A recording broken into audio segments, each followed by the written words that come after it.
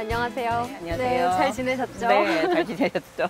저희 지난번엔 뜨거운 여름에 같이 붉은 벽돌을 가진 건축물 찾아봤었잖아요. 네.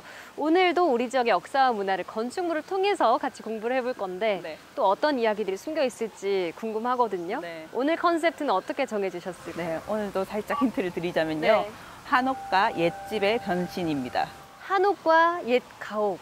나 이런 날씨에 또 걷기도 괜찮을 것 같은데 바로 가볼까요? 네, 한번 가보시죠.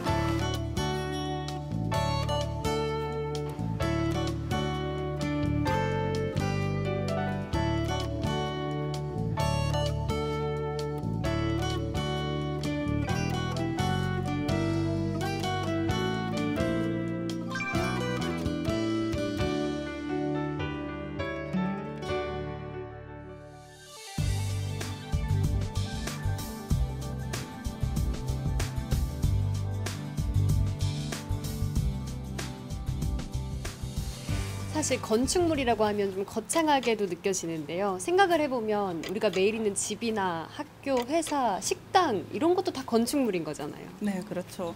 우리가 건축이라고 하면 모든 우리의 삶의 영역이 건축 안에 있다고 할 수 있고요. 네. 우리가 생활의 영역, 생활을 담는 것이 건축이라고 음. 할수 있을 것 같아요. 그러니까 건축물을 또 문화라고 볼 수도 있을 것 같고요. 네, 그렇습니다. 근데 건축물들 중에서도 좋은 건축물이라고 한다면 어떤 기준이 좀 있을까요, 교수님? 네.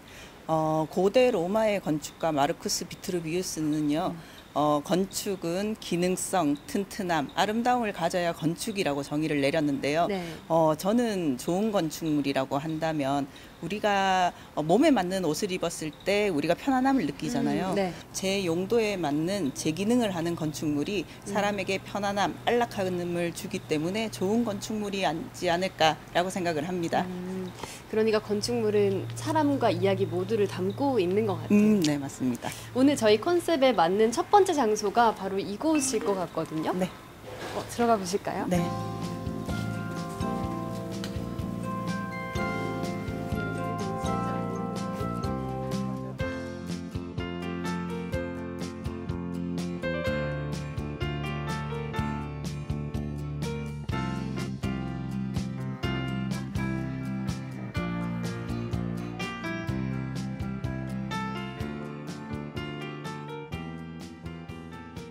한옥 하면은 고즈넉하다 이런 느낌이 자동으로 좀 연상이 되는데요. 이곳에 들어오니까 이제 온몸으로 아 고즈넉한 게 뭔지 알 것 같아요. 네. 수성못에 상화동산이 있잖아요. 네. 가끔 가는데 이곳이 실제로 이상화 시인이 어렸을 때 살았던 곳이다 이렇게 알고 있으면 될까요? 아, 그렇죠. 여기는 근대 문화의 선구자이자 민족 시인이신 이상하 선생님 형제들이 네. 태어나고 나고 자란 곳이라고 할 수 있는데요.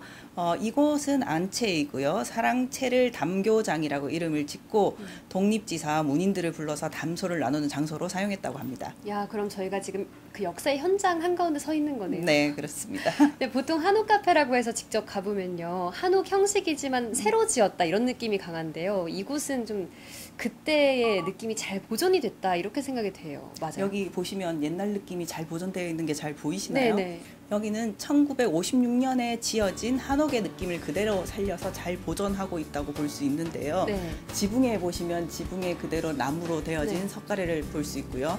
여기 지붕을 받치고 있는 대들보 음. 그리고 나무와 황토의 따뜻한 느낌 이런 것들을 잘 보존하고 있는 것을 알 수 있습니다. 네. 실제로 그 장소에 와서 같이 이제 이야기를 좀 나눠야 될 것 같은 느낌도 네. 드네요. 네.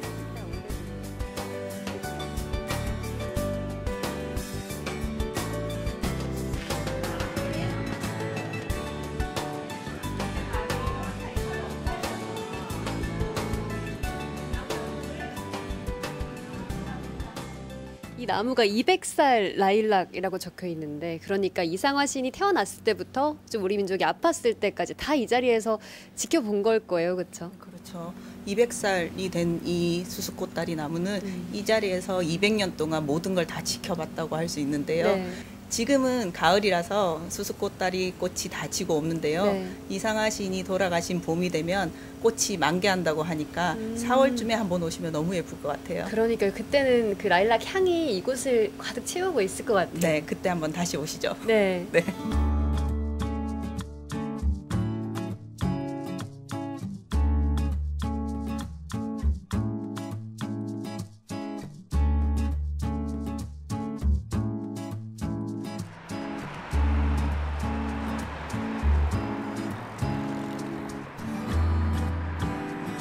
여기 동네는요 거리에 벽화도 있고요. 그냥 이 공간 자체가 예술품 같기도 하네요. 네. 요즘 우리 지역에 옛 가옥이나 한옥을 개조한 카페나 식당들이 좀 많잖아요. 네. 심플하고 모던한 것만 좋아한다라고 생각했었는데 또 그런 것도 색다른 분위기가 너무 예쁘더라고요. 네. 그런 옛 가옥을 보면 옛날 우리 선조들은 어, 자연과 인간의 조화를 참 많이 생각했구나를 생각하게 되는데요. 음. 지금 가보실 두 번째 곳도 그런 곳입니다. 한번 가보실까요? 다와 가나요? 네.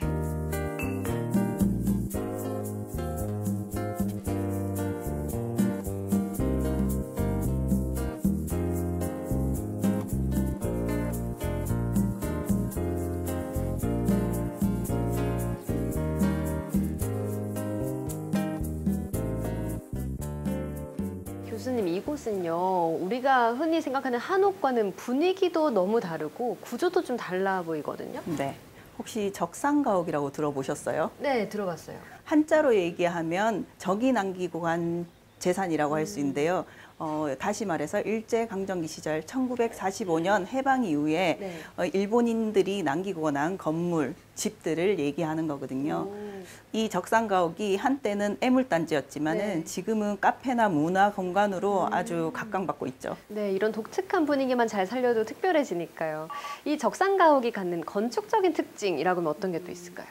그때 당시에 고위 관료층이 우리 한국에 와서 이 주택을 짓고 살았거든요. 네. 그렇기 때문에 서양식 건축과 일본식 건축이 합쳐진 게이 적상가옥의 특징이라고 할 수 있을 것 같아요. 네. 서양식 콘크리트 벽과 이 나무를 사용한 지붕, 천장 이런 것들이 우리 적상가옥의 특징이라고 할 수 있는데요.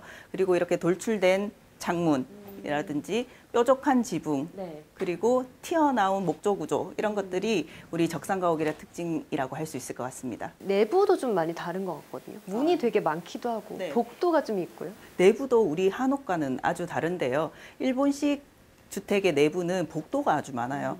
그래서 지금 우리 한국 건축에는 마루를 가지고 있는 네. 우리 거실을 가지고 있는 맞아요. 이렇게 어, 넓은 공간을 가지고 있지만 일본은 복도를 가지고 있는 이런 옛날부터 주택이 이어져 오고 있고요. 그것이 지금까지 계속 이어져 와서 우리 현대에도 한국과 일본의 주택의 차이점이 그런 데서 나타나고 있습니다. 음, 그러고 보니 뭐 애니메이션이나 드라마에서 주인공들이 이렇게 복도로 오가고 문 열고 했던 게 기억이 나요. 네.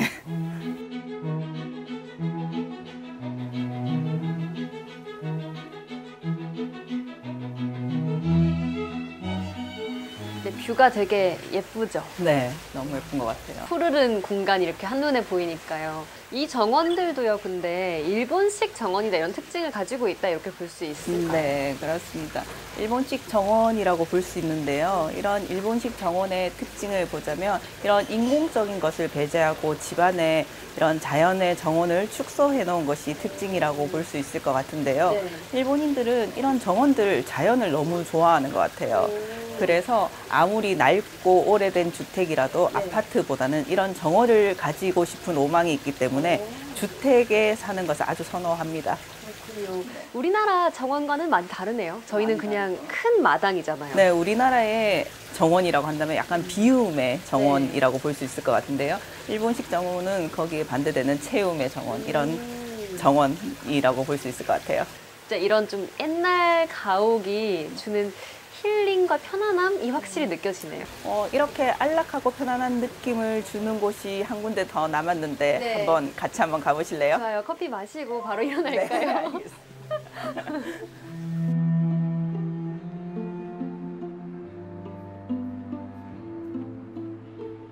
음, 너무 예쁜 것 같아요.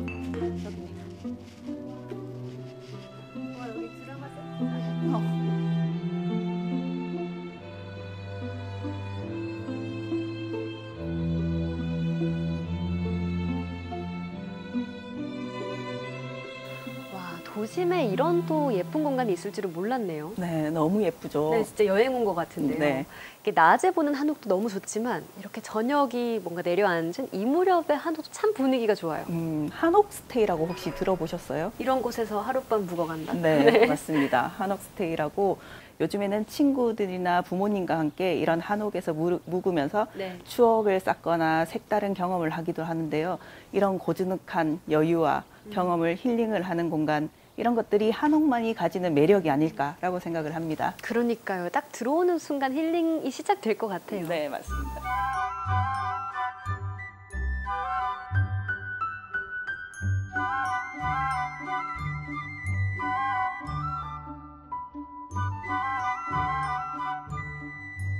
사실 저희가 이런 한옥에서 묵는 경험을 쉽게 하지 못하잖아요. 네. 그래서 이런 한옥 스테이 자체가 여행 온 느낌일 것 같은데 이게 생활이 편하게 현대화가 좀 되어 있다고 봐야 될까요? 네, 이런 현대화된 한옥도 그 나름대로 매력이 있지만 저는 한옥은 한옥일 때가 가장 매력이 있는 것 같아요. 네.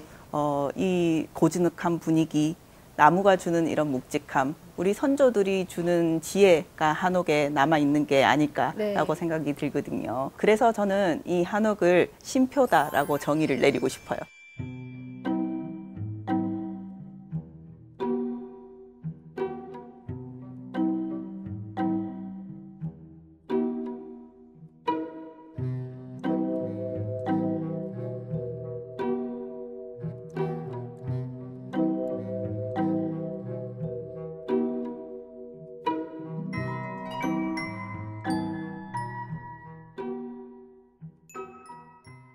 오늘 저희가 한옥이랑 옛 가옥이 어떻게 변신을 했는지 봤잖아요. 앞으로 어떤 건물을 봐도 아, 이 건물은 옛 모습이 어땠겠구나 이런 걸 좀 떠올리게 될 것 같아요. 네, 우리가 여름에는 반팔을 입고 겨울에는 코트를 입듯이 네. 건축물도 시대가 지나면서 옷을 바꿔 입는다고 할 수 있는데요. 오늘 본 우리가 옛 가옥처럼 네. 어, 조리하는 공간이 있는 주방이 있고 담소를 나누는 거실과 우리 방이 있잖아요. 네네. 그리고 또 마당이 있었죠. 그런 공간들이 카페 요소들과 자연스럽게 이렇게 흘러갈 수 있기 때문에 주택에서 카페로 변화됐을 때 우리가 네.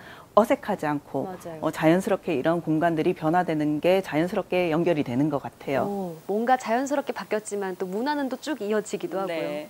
저도 세계적으로 여러 건축물들을 많이 봤고 공부하고 역사들을 많이 봤지만은 네. 앞으로 좀 더 많은 건물들을 눈에 담아야 되겠다라고 음, 생각한 것 같습니다. 저도 동참을 하겠습니다. 네. 저희 다음에 또 길에서 봬요. 네, 오늘 수고하셨습니다.